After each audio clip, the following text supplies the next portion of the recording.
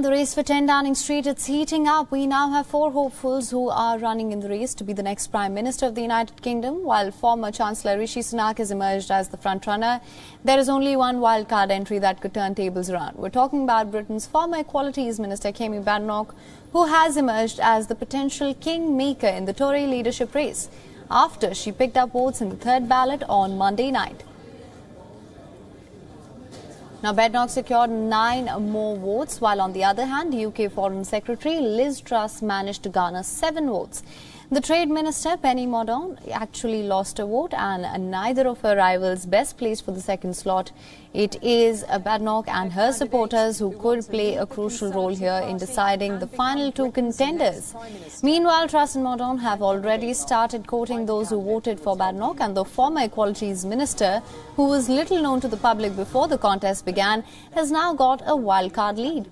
If she is knocked out in the next round of voting, then her supporters could determine if, it if it's Truss or Mordaunt who will be pitted against former Chancellor Rishi Sunak in the first leg of the in the final leg pardon me, the final leg of the race.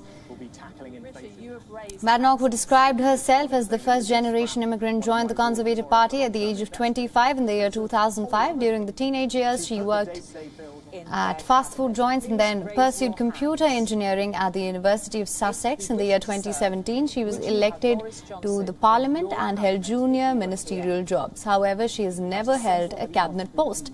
But with changes in political leadership, there are high chances that former Equalities Minister can hold a crucial cabinet post now.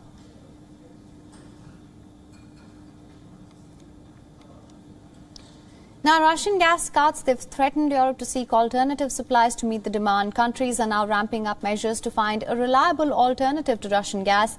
And in the latest, the European Commission has signed a deal with Azerbaijan to double the imports of natural gas by 2027.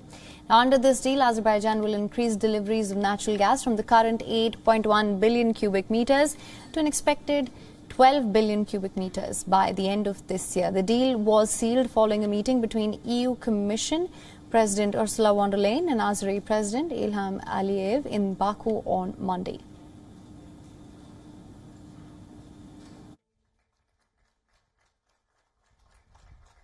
From next year on, we should already reach 12 billion cubic meters. This will help compensate for cuts in supplies of Russian gas and contribute significantly to Europe's security of supply.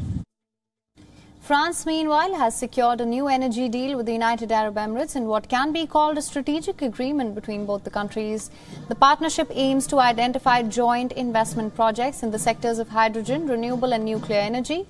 The deal coincided with UAE President's visit to Paris. This was Al Nahyan's first foreign visit since assuming office in May.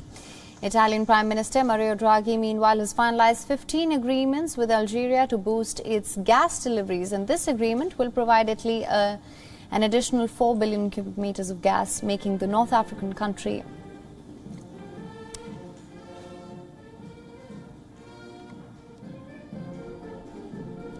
and uh, this would be Italy's biggest gas supplier. This uh, position was previously held by Russia before the Ukraine war. The details of the new partnership were announced on Monday by Italy's Prime Minister Mario Draghi and Algerian President.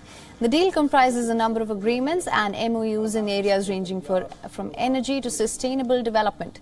Despite all of these efforts, the International Energy Agency has issued a warning saying that Europe's efforts to diversify suppliers will not be enough to get it through winter. The energy agency said that it is not enough to just rely on alternate sources as the import amount it won't be able to compensate for the volume that Europe used to get from Russia. While EU has not put Russian gas under sanctions, it of course has sought to cut imports to reduce its dependence on Russia. Moscow also lost several European gas clients after it demanded that all unfriendly countries pay for Russian natural gas in rubles.